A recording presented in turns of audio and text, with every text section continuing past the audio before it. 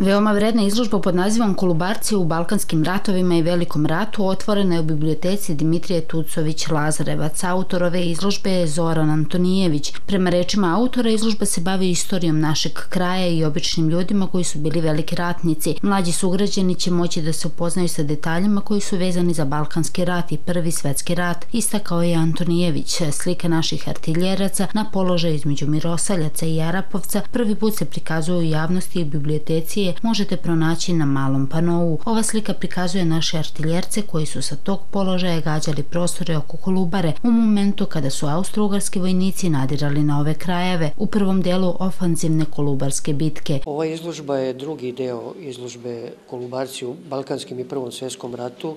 Imaće još jednu fazu. E, prvenstveno je namenjena za obrazovanje mladih jer je ovaj, opština podržala finanskim sredstvima izradu ovih panoa i e, smatram da će na ovaj način naši, znači mlađi sugrađani moći da se upoznaju sa detaljima koji su vezani za Balkanski i Prvi svjetski rat, a zahvaljujući kolegama sa kojima sam sarađivao i koji su sakupili silan materijal, ja sam sa radnicima biblioteke Lazarevac, sa Dubravkom i sa Goranom, ovaj, složio materijal za te ove panoje koje vidite i deo ove zbirke koja se dole nalazi je uglavnom zbirka iz ličnih fondova. E, ja bih napomenuo ovde jedan interesantan dokument koji se pojavljuje prvi put u našoj javnosti, a to je slika naših artiljeraca na položaju između Mirosaljaca i Arapovca. Ona se nalazi ovdje na malom panovu i prikazuje naše artiljerce koji su sa tog položaja gađali prostore oko Kolubare u momentu kada su austro-ugarski vojnici nadirali na ove krajeve i u prvom delu, znači one ofanzivne bitke, kolubarske bitke. Smatram da smo na jedan specifičan način pripremili interesantan materijal. Naravno, ovde i prvi put su izloženi originali nekih priznanja, jedne Karadži, Srbene Karadžive zvezde, ukaz, ukaz i ove medalje za hrabrost i albanske spomenice iz Čibutkovice i Jeremija Čančarevića, zahvaljujući njegovim potomcima koji su bili ljubazni nam to daju. Ovo ostalo sve što vidite, ovaj, kažem, samo je deo ogromnog materijala.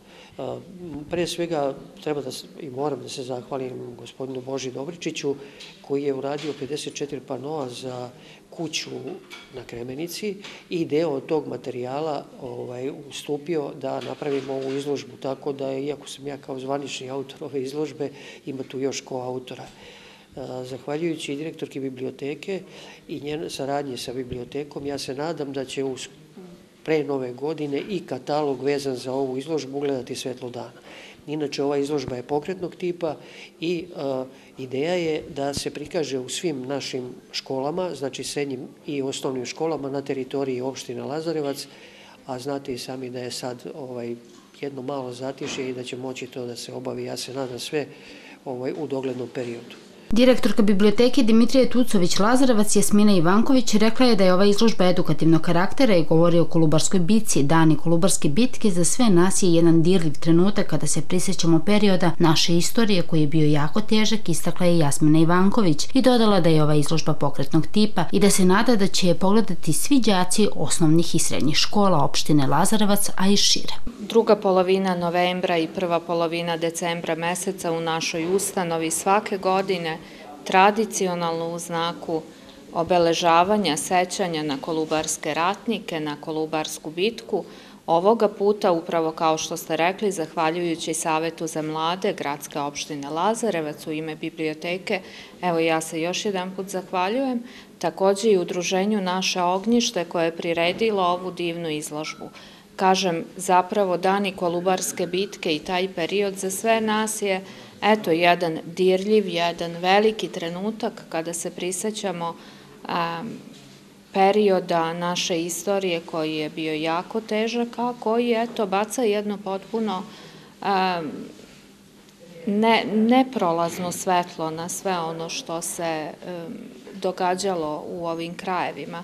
I zapravo i ne treba poseban povod da se prisetimo naših predaka i njihovih imena, naročito onih koji su ovenčani albanskim spomenicama i Karadžorđevim zvezdama i naravno onih koji su ostali i na Krfu i na Ostrvu Vidu i na tom putu preko Albanije i u ovom našem Kolubarskom blatu. Ja ne znam šta bih rekla, ova izložba je naročito za sve nas dragocena i bitna jer se radi o ljudima iz ovoga kraja i nekako mi smo se bavili tom nekom velikom svetskom istorijom, a svoje predke smo nekako zapostavljali kao da oni nisu bili nosioci te svetske istorije u tom momentu. I mi moramo biti svesni te činjenice da smo zapravo, zahvaljujući upravo našim predsima, uticali na tokove svetske istorije. Izložbu Kolubarci u Balkanskim ratovima i Velikom ratu posjetioci Lazarevačke biblioteke će moći da pogledaju do 15. decembra.